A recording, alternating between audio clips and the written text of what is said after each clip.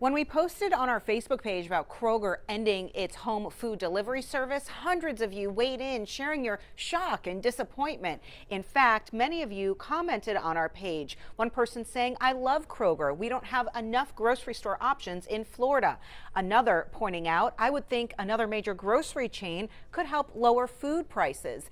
Now, many people are left wondering where to go for affordable food. It was convenience. They brought them to my house, it, and I was saving money. So it felt like such a win win. Local mom Melissa Maitland feels like she tried everything to shop for affordable groceries. And then she found Kroger home delivery. So when I saw the email, I was I think I, I literally cried. So while there's no physical store in South Florida, Kroger opened a warehouse in Miami last year to begin deliveries throughout the region. When I compare what I could get with $200 at Kroger versus a lot of the local grocery stores, it's unmatched. Mom Tara Wallace also shared her disappointment to see the service ending. It's a time saver for working moms.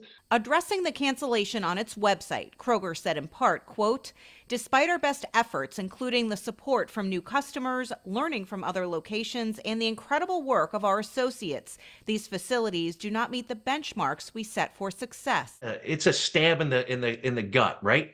I don't have enough money to buy the groceries that I used to buy. President at Better Qualified, business and consumer expert Paul Oster says people right now are struggling. Buying food for your family is an emotional reward or it's a, it's an emotional letdown, right? So we have to be prepared for what we're able to spend. He says to keep your spending in check, comparison shop online at different grocery stores. Shop your pantry first and go to the store with a list. With no plan, and you're just walking up and down the aisles, impulse buying, you will be the person that is impacted most by this inflation. Tara Wallace says for her, it's back to the basics. I guess back to the weekly ads. Stephanie Susskind, WPTV, News Channel 5.